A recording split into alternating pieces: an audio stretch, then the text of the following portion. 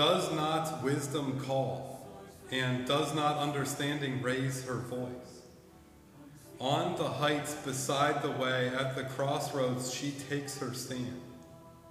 Beside the gates in front of the town, at the entrance of the portals, she cries out To you, O people, I call, and my cry is to all that live.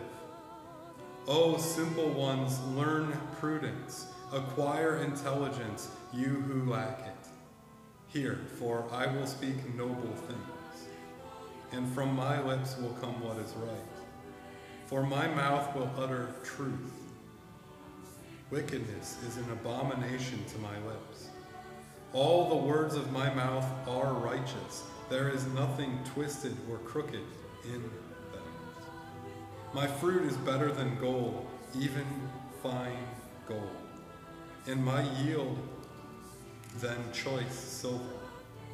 I walk in the way of righteousness along the paths of justice, endowing with wealth those who love me and filling their treasures.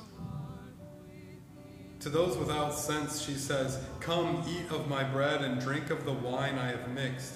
Lay aside immaturity and live and walk in the way of insight. The word